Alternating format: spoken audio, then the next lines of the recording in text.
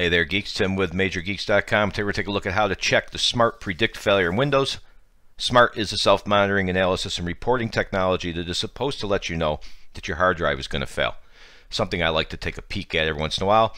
We can do everything from PowerShell and it's really easy. So, if you think your hard drive has problems, let's take a look first and see if there's a problem with your drive. Open PowerShell, use this line, and actually you can use either line in PowerShell, or open Command Prompt and use this line here. We're going to do PowerShell. Windows key plus X, and Windows PowerShell, let's run as admin. And as I mentioned, Control V will paste that line in. Go ahead and press Enter now.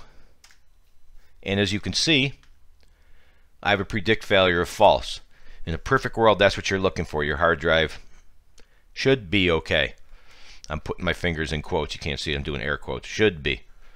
We'll get to more on that in just a minute. And a reason code. If you get true, you're going to have a reason code. You want to take note of that reason code right there. Let me show you. And in the article link, which you can find in the video description or the little eye that pops up around here somewhere, look up your error codes on Wikipedia. I did this because Wikipedia page is updated and I want to make sure if you get an error code that if my guide hasn't been updated in a month and I don't have your code, I want to make sure you have it.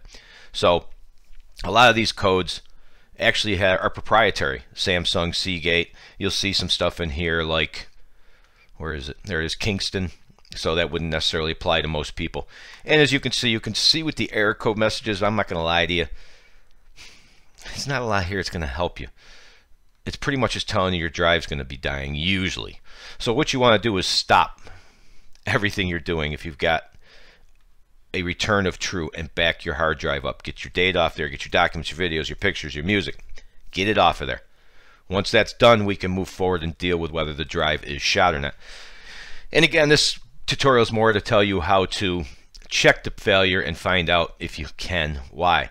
What we want to do next is perhaps run check disk, see if we can find drive errors. So we can do chk dsk space forward slash f space your hard drive. So you would replace the E. Let me show you.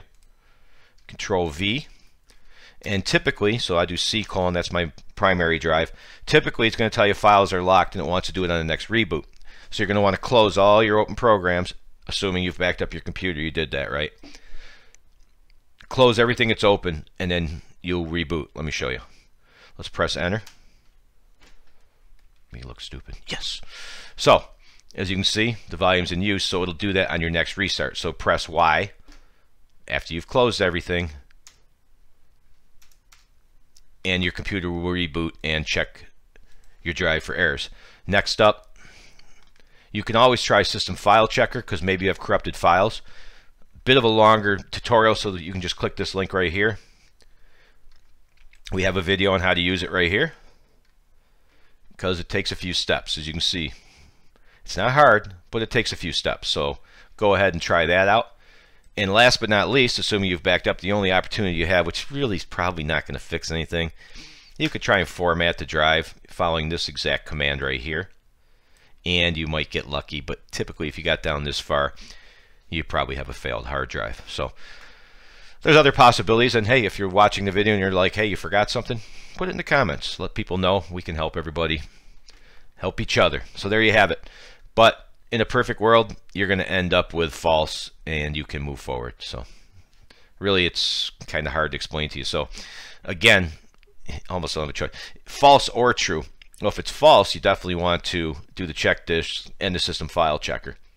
And if it's true, you want to back up and see if you can save your drive with those two steps. It's it's a hail mary at this point if you ended up with a return code. So there you have it. That'll at least get you started on how to check your smart predict failure. Maybe you never tried it before. Nice cool way to do it right in PowerShell. So as always, bottom right corner is the Major Geeks logo. I don't know, somewhere over here. Click on that. You can subscribe and click like if we helped you out. Feel free to leave a comment. We'd like to hear from you. Thanks for watching. See ya.